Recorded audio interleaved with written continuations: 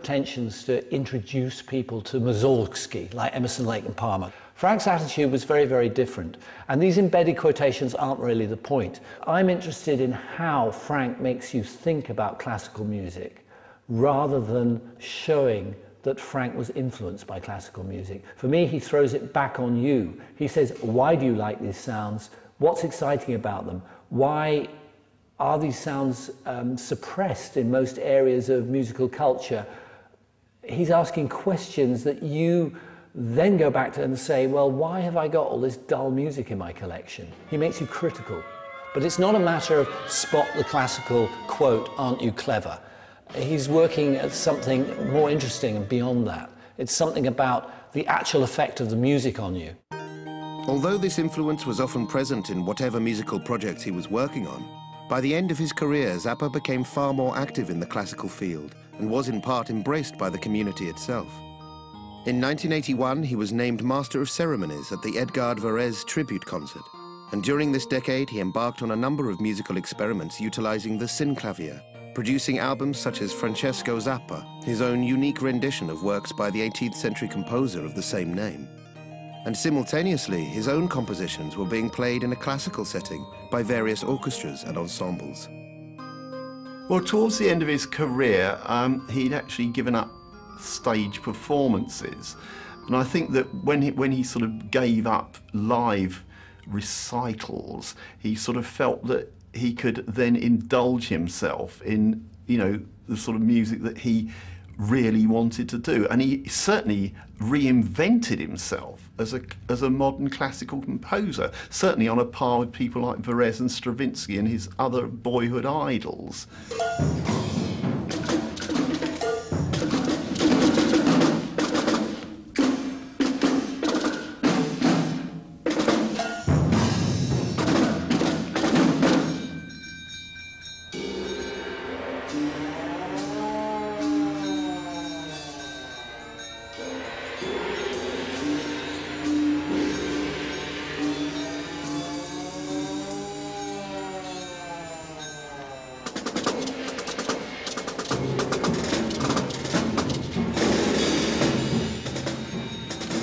Although it, you know it, must have been very gratifying, I think his principal motivation was that he wanted to hear it. He, he didn't really mind if other people didn't. Towards the end of his life, he recorded an entire album of Edgard Varèse pieces called The Rage and the Fury. It's never been released. And apparently, um, according to a close relation of his, um, it was enough that Frank could hear it. There were some people in the classical or avant-garde musical world who saw Zappa as a serious composer, who realized that the apparent uh, rock or pop surface of much of his music actually um, concealed something much more serious in intent that was going on below the surface. Those kind of people were the ones who would have encouraged uh, him in his work uh, with Varèse and in Webern in later life, um, they would have included as well Pierre Boulez, who famously conducted some of Zappa's works on disc, and so on and so forth. In fairness, those people were in a minority. To this day, the vast majority of those involved in classical music, particularly those who are more attached to the past than to the present, would see Zappa very much as, as a joke. Uh, someone from the, the rock world who's somehow trying to um, get some kind of kudos through reference to the avant-garde classical world. As a consequence, Zappa is not taken seriously. But deep down, I suspect that he wished to be taken very seriously as a real composer, rather than as a rock musician who had aspirations, shall we say. I think by the time that the uh, Ensemble Modern played the Yellow Shark music, I think that was, he was gratified by that whole thing. That uh, made him look like a composer that, you know, that he always wanted to be. He had no interest in being a member of the classical community, and he was in the rock world, and he felt that that was the foundation. That's what he liked musically, energetically, and he really did like playing on stage. He liked to an audience. And he did really feel that I'm quite sure I wouldn't be saying this wrongly, that, that he wanted to communicate to audiences, kids in particular, young people in particular. And, uh, and this was clearly a way to do it, whereas if you're a member of the classical music community, you might well ask, who are you communicating with? You know, you're writing these great pieces, but who's hearing them?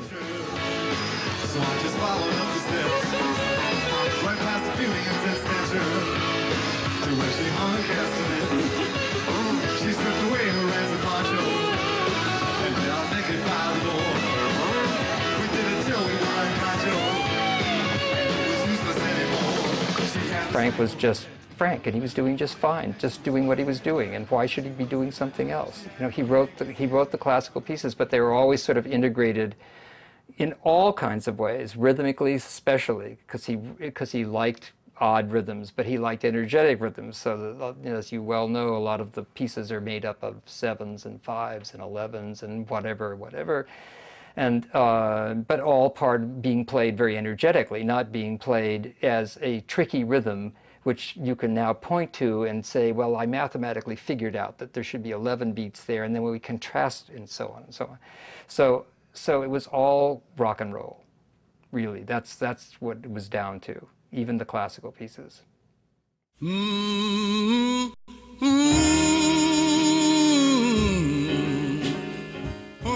As with the entire culture of rock and roll, the bedrock of Zappa's approach to popular music was rhythm and blues.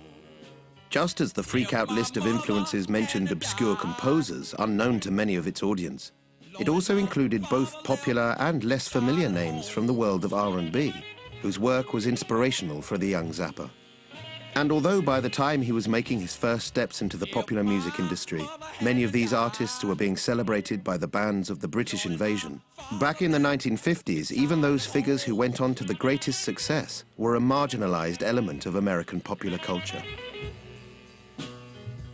What you have to remember is that in the sort of late 40s, early 50s, um, that R&B was kind of an illicit pleasure for white teenagers. You'd sort of pick things up through the static on the radio, some sort of black station that would be playing items like um, too Many Drivers by Smiley Lewis or Work With Me Annie by Hank Ballard and the Midnighters.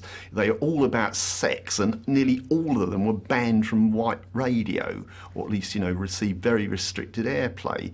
So, you know, you felt that you were sort of homing in on something that was a little bit sort of underground.